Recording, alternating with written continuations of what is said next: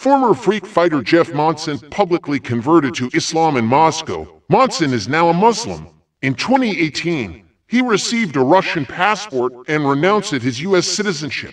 In Russia, he became a deputy, but still has not been able to learn Russian.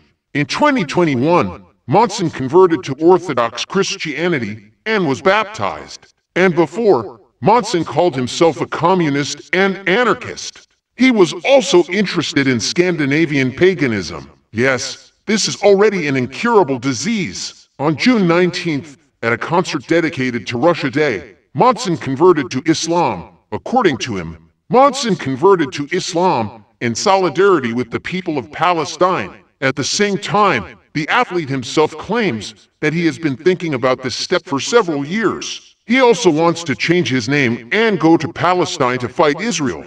Monson made his speech to a crowd of bearded men in hats and shouts of Allahu Akbar.